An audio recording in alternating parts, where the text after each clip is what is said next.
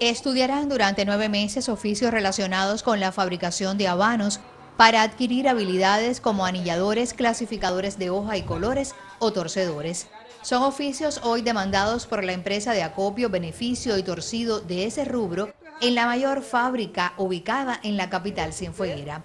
Como parte de su quehacer para incorporar a jóvenes de entre 18 y 25 años desvinculados del estudio y el trabajo, la Federación de Mujeres Cubanas organizó este curso primero en la provincia, abanderado a propósito de la celebración de la asamblea previa al onceno congreso de esa organización.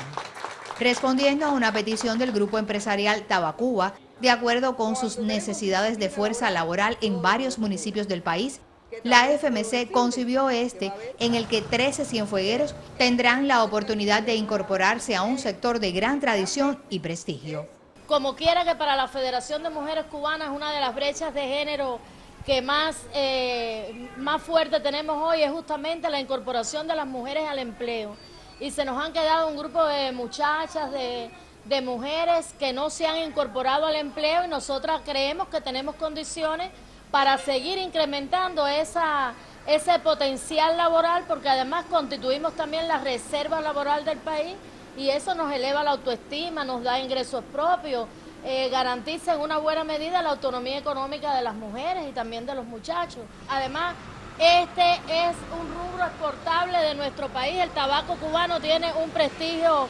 internacional extraordinario, entonces van a tener también el honor de trabajar en un sector que es de los que definen la economía del país. El curso contribuirá también al programa para el adelanto de la mujer, política de Estado que fomenta el empoderamiento de las cubanas. Inmari Barcia, Notisur.